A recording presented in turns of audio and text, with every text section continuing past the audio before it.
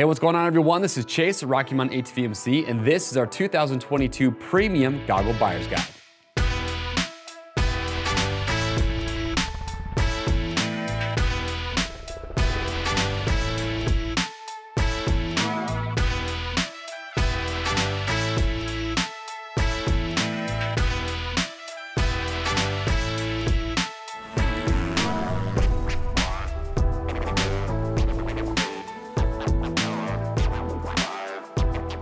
All right, everyone, thank you for checking in. If you are shopping for goggles, we are here to help you out. We have our top picks for premium goggles. And we're gonna go through, we're gonna talk about each one of these. And I'm gonna tell you right now, I'm going to be brief. I'm gonna go through, I'm gonna talk about the key features and what we like about each of these goggles, some of the drawbacks to each of these.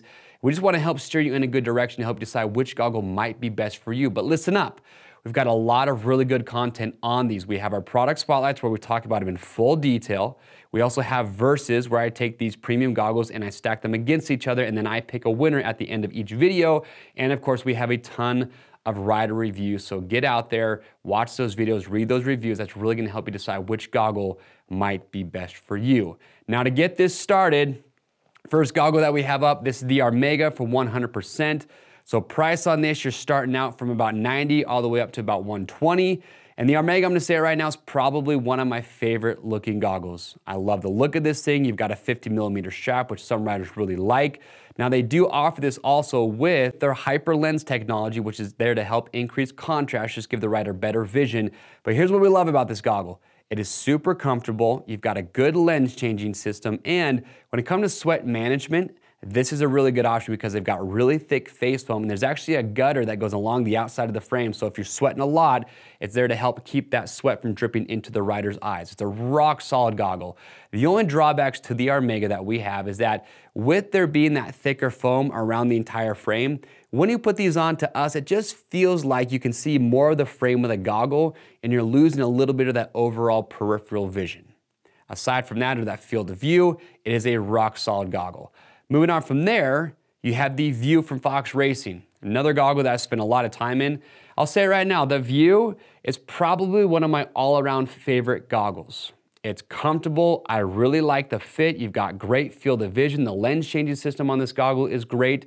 The only drawback really that I have with the VUE is that price point for this goggle and just a standard clear lens, you start at about 120 Whereas with the Armega we just mentioned starts out about 90, so there's about a $30 price difference there. But aside from that, the VUE is rock solid. I've really, really liked this goggle.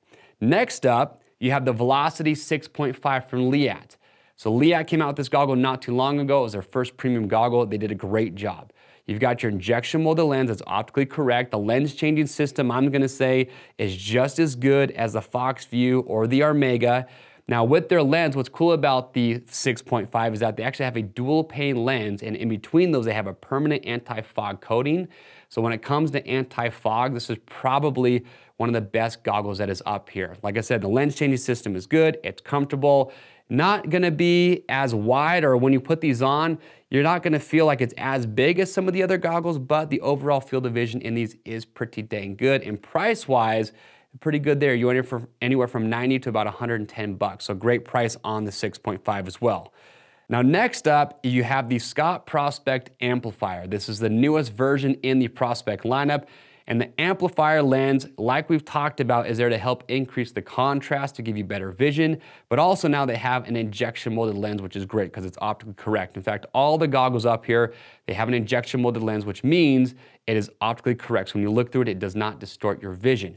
Now with the Prospect, very lightweight feeling goggle, one of our favorite face foams, very comfortable when you put it on.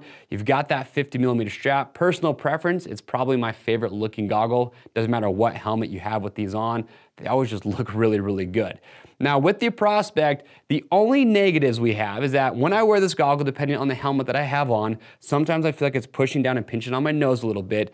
And the lens changing system, there is a lens lock system on here to help keep that lens in place, which is great as far as safety goes, but changing the lens is kind of a hassle when you compare it to some of the other lens changing systems that are on the table. But aside from that, Prospect is killer.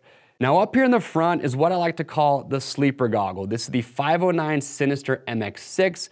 A lot of people might not be too familiar with this goggle, but here's what we love about it. As far as fit and comfort goes, a lot of riders of all the goggles that are up here said that this was probably their favorite fitting goggle. Just the way it makes the contact around the face, it just fits really well. You get a good tight seal. The face foam is really comfortable. Really, really good field of vision. You've got that injection molded lens. They even have the flow version, which I have on the table here, which actually has this frog skin vent up here on the top to help get some airflow going and help combat with fogging.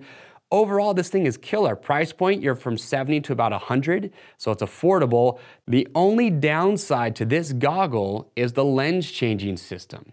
Compared to all the goggles up here, even with the Prospect, it's just kind of a pain to get the lens out and to put it back in. Now I'm being picky here with splitting hairs, but like I said, that's really the only downside is if they can make that lens changing system a little bit better. But aside from that, this thing is awesome. We have a rider here that wears this goggle. He has the yellow tinted lens option that he loves because he said it kind of brightens everything up, especially in low light conditions. So if you're looking for a goggle that not many people are wearing that is awesome, then the 509 Sinister MX6 would be killer for that.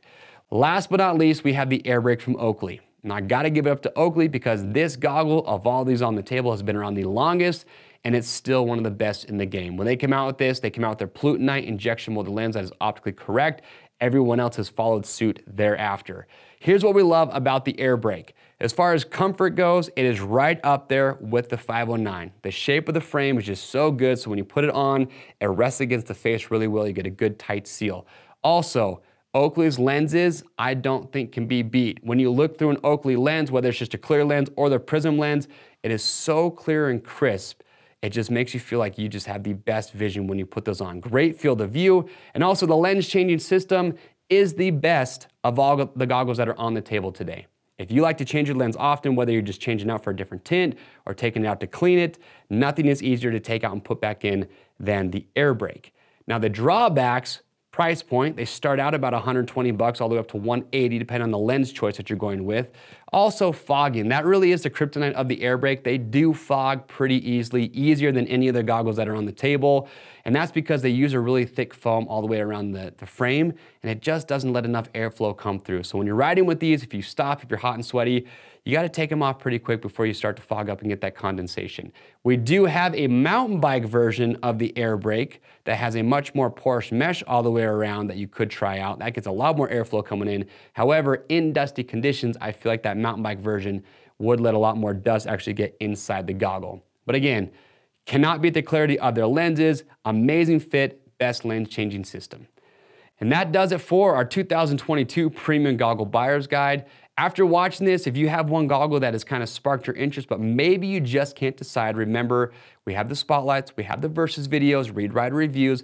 There's a lot of great content to help you make that decision decide which one of these will be best for you. Questions or comments, leave those below. What goggle do you have now? What do you like? What do you dislike about it? Which one of these would you buy today if you could only choose one. Get that conversation started. To grab your next pair, it is simple. Click on the link in this video or head over to RockyMountainATVMC.com. As always, orders over 75 bucks ship free. And if you want to always see the latest and greatest from our YouTube channel, hit that subscribe button, hit the notification bell, and that will keep you up to date. I am Chase, and we'll see you on the trails.